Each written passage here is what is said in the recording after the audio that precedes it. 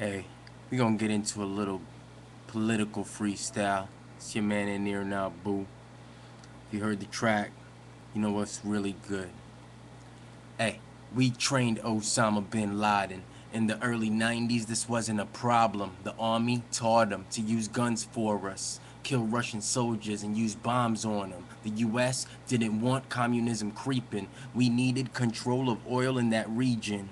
The CIA found Osama to teach them he had charisma to recruit people. He was the leader of the Taliban. Our government seemed to have a master plan. But then he got mad after Soviets ran and Americans stayed in Afghanistan. We chilling on their land like, what's up now? They said, what's the deal? Get the fuck out and we don't run out on a fight we start. Osama been dead, and that's the sad part. And Benazir Bhutto said it not smart. They killed her quick, so God bless her heart. We are misled from the start. Snap out of it. Get mad a bit. Man, shout a bit. Hey. The same thing with Saddam Hussein. Donald Rumsfeld and Iraq were real good friends in 83. We gave him some things missiles, planes to blow up Iran, biological weapons, and mad cash. Why do you think they found a stash so fast? OPEC? It's the people that pass laws against which money buys gas. And Iraq said, F the dollar. We only take euros. It has more power. W said, Daddy, what do I do? Kill that guy like I tried in 92. No lie, Saddam was a bad dude, rapist, murderer, he blew up schools. Then why was he cool for Bush to chill with? You tell me that reason, I gotta hear this bullshit, uh.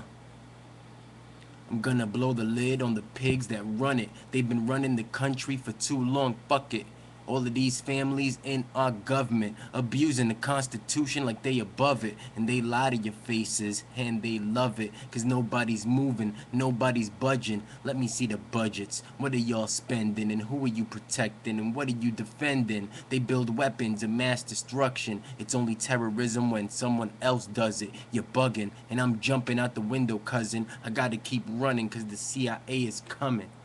Uh Peep the track. It's your man Enir Nabu. Representing the Bronx in the building, Washington Heights in the building, BK in the building, Manhattan in the building, Harlem, all that, Dyckman in Uptown. You already know. I hit you with party tracks and I also make you think a little bit.